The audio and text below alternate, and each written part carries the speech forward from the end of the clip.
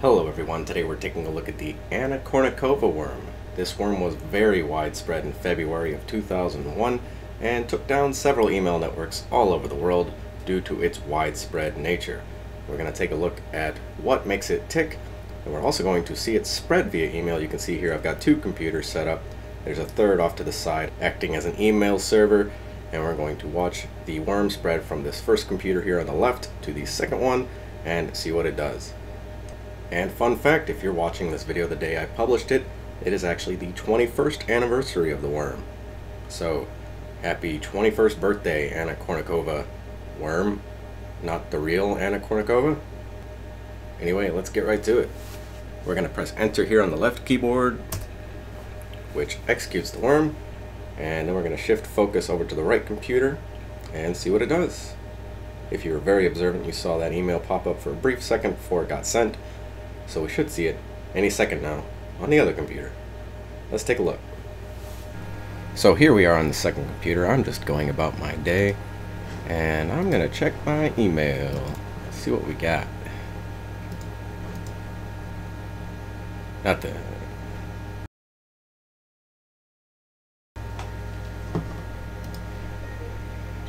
Oh hey look.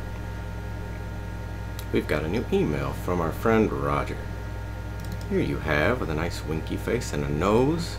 Hi, check this. And we have our, ooh, annakournikova.jpg. Yeah, that sounds pretty tempting to me. I'm not going to worry about that .vbs part at the end. Because when I look at it, all I see is annakournikova.jpg.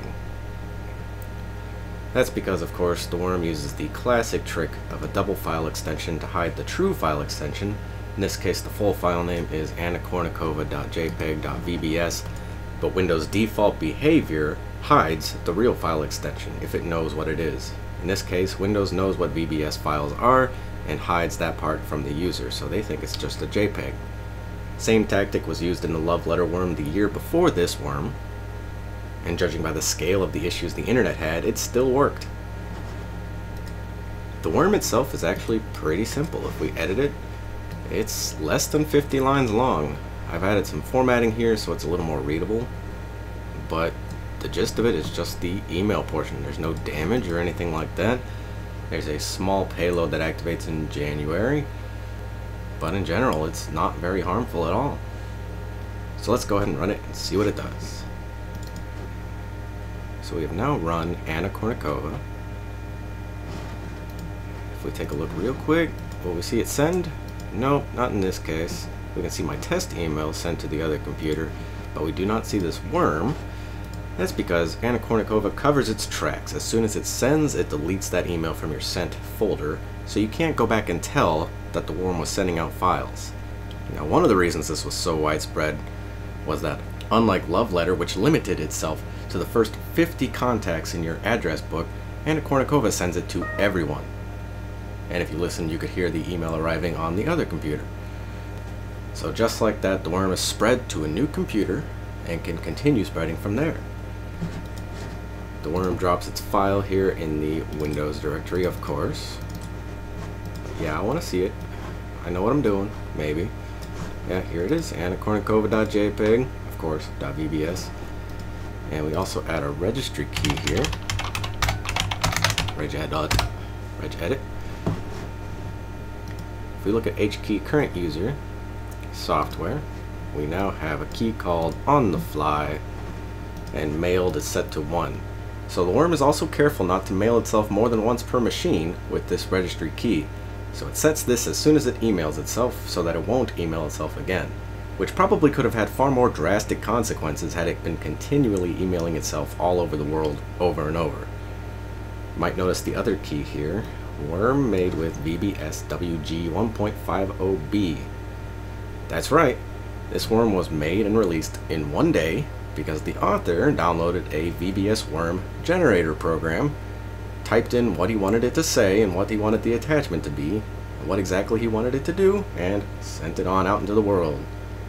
It took just a few hours from him downloading the program and sending it out for it to crash mail servers worldwide and it was really for no other reason than people didn't know enough about internet security and were curious enough to click annakournikova.jpg that showed up in their email 50 times from random people they knew. You'd think if you were receiving the same email with the same text and the same message body from multiple different people you know that probably don't know each other, you might be a little suspicious, but maybe I'm giving the end user a little too much credit. Now, like I said, there is one very small payload. Let's take a look at that. If we edit this, let's see what the day. The month now is 1 and the day now is 26th and we're opening a website. So January 26th, which happens to be the author's birthday. He was 20 years old when he wrote and released Anna Kournikova.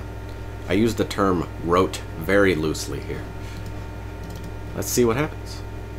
Here we go. Here's Microsoft Internet Explorer. Yeah, I know I'm connected. Not really. I'm on a local network. It's all very isolated. Not that I'm worried about reigniting the second spreading of Anna Kournikova. But we're not connected to the internet for real.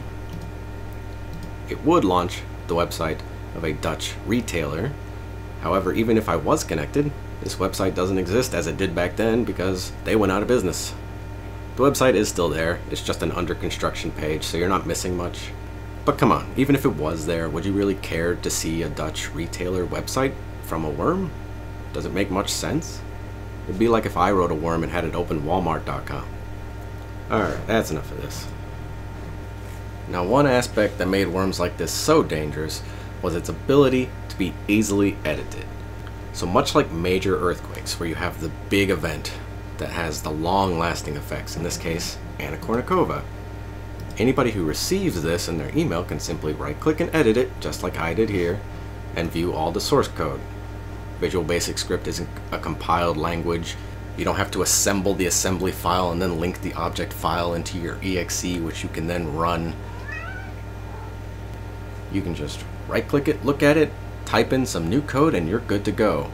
So just like that major earthquake has some aftershocks that always follow up with less impact than the original, so too did these major VBS worms in the early 2000s. So we're going to try to do that now. I'm going to edit this. I'm going to make a brand new variant of Anna Kournikova. So I'm going to add this right here in this day 26 month 1 routine and I'm going to make it a little bit more dangerous. I have quickly added three lines which should try to delete all the files in the root of the C drive and we're going to see if my syntax is correct and if it works. First I got to close this, I've got to stop the worm from running. So W script is our worm, we'll end that come into Windows, we'll delete this one. We'll go into regedit and delete the key that says not to mail itself again. Delete on the fly. And we are now clean of Anna Kournikova. That was a complete removal video right there. It's not complicated to clean this one up. But it is if you have a new variant of it. We're going to rename this file cool script Oh, hey look, Anna Kournikova tried to replace itself. Unfortunately, a bug in the code causes the replacement to be zero bytes. It did not finish rewriting its code there, so sorry Anna Kournikova, you're gone. And real quick, just for fun, we're going to change the message body to sup jerk and you suck bet you won't run this cool script. I mean JPEG.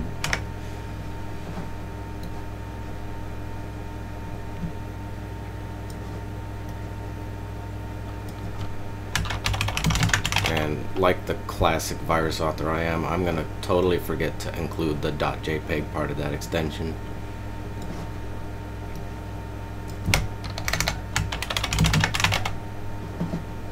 Alright, here we go. Let's see if I did it right.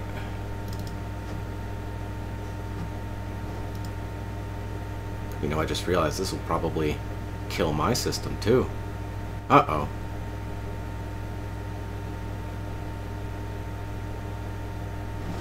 We still have files in the C drive? Yeah, I'm not going to worry about it. Oh, I hear it arrived on the other one. Okay, I don't know if this is Windows XP just being Windows XP or if I totally messed something up by deleting those files. If it even deleted them, I don't know. But we're not responding on Explorer. Let's get Explorer back here. Oh, it came back on its own. Thank you, Explorer. Um, still frozen. Let's try restarting.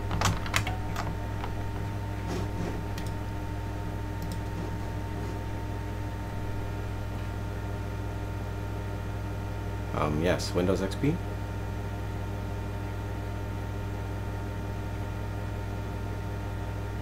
Hmm. Oh, we gotta stop the worm.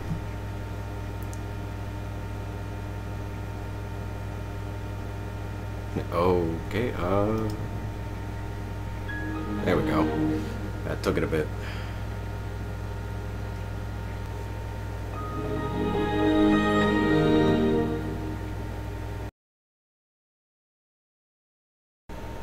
Now, unfortunately, my file deletion payload did not end up working as I had hoped.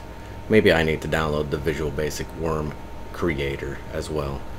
But it did successfully send emails. If we take a look at the other computer now, we can see I've sent it quite a few times. So here you have, and then sup jerk, you suck, bet you won't run this cool script, I mean JPEG. And my brand new variant is indeed attached. So we have succeeded in creating a brand new variant of Anna Kournikova. Whether or not that's a good thing, I don't really know. But that is about it for the Anna Kournikova worm. Thank you very much for watching. Take care.